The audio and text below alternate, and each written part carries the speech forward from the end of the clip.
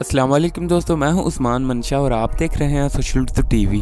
दोस्तों, आज की इस वीडियो में मेरे पास आपको बताने के लिए बहुत सी स्टोरीज और न्यूज़ हैं कि क्या रेट्रीब्यूशन अलग होने वाली है और उसके अलावा दोस्तों बिग शो ने ए को ज्वाइन कर लिया है और उसके साथ साथ WWE में भी नए ब्रोक लेसनर की एंट्री हो चुकी है। तो इस वीडियो को आखिर तक ज़रूर देखिएगा। तो बिना देर किए शुरू करते हैं।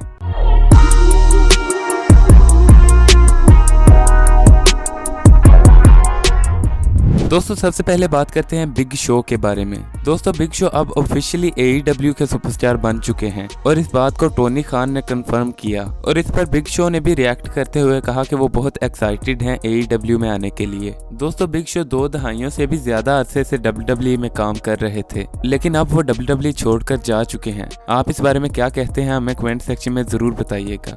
तो बढ़ते हैं हमारी अगली न्यूज़ की तरफ़, जो है ब्रोक लेसनर के लुक लाइक पार्कर बोर्ड्रियक्स के बारे में। दोस्तों, जैसा कि आप जानते हैं कि पार्कर बोर्ड्रियक्स को ब्रोक लेसनर के जैसा दिखने की वजह से सोशल मीडिया पर काफ़ी अटेंशन मिली और पोल हेमन ने भी इन पर रिएक्ट किया। और फैंस ये एक्सपेक्ट कर रहे थे कि ये अगले कुछ सालों में डब्ल्यू में आ जाएँगे। लेकिन ये इतना जल्दी डब्ल्यू डब्ल्यू में आ जाएँगे, ये शायद किसी ने एक्सपेक्ट नहीं किया था। क्योंकि डब्ल्यू डब्ल्यू ने आज ऑफिशियल कर दिया है कि पार्कर ने उनके साथ कॉन्ट्रैक्ट कर लिया है। और अब वो डब्ल्यू डब्ल्यू के परफॉर्मेंस सेंटर में हैं। दोस्तों, इस पर खुद पार्कर ने भी रिएक्ट किया और कहा कि अब वो ऑफिशियली डब्ल्यू में है और वो रेसलिंग की दुनिया को पूरी तरह बदल देंगे।